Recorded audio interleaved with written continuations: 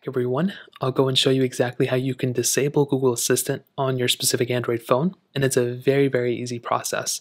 The first thing you want to do is you want to hop inside of your Google application. So it should be on your little app browser right here. So you want to go and click there. And what you want to do when you're here is you want to go and click on your, you know, profile icon that's on the top right.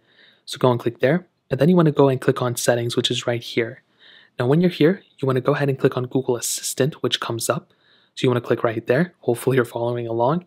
And then what you want to do is you want to scroll down until you see general. So you can skip pretty much all of this stuff until you see general. And I think I already skipped it. So right up here, here's your general setting.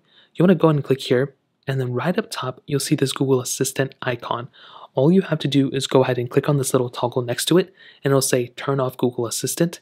And all you have to do and it'll tell you exactly when off your assistant will no longer respond when you say hey Google. Also assistant features that help with your you know personal info like ambient mode and snapshot won't be available. You can delete your assistant you know, history on this website. So now you can go and click on turn off and Google Assistant will be disabled now, when you go and click this, you know, power button on the side, it'll still tell you, you know, your Google Assistant is ready to help you get things done, and you can click turn on. Now, you can map this power button on different Android phones to different things, but as of right now, I don't have it set up like that.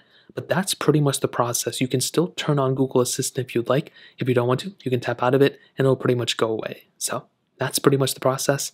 If you guys have any other questions or anything like that, let me know in the comment section below hit the like button, that would mean so much, but definitely hit that subscribe button. More importantly than everything else, I love every single one of you guys. Hopefully I'll catch you guys in the next video. Peace out till then.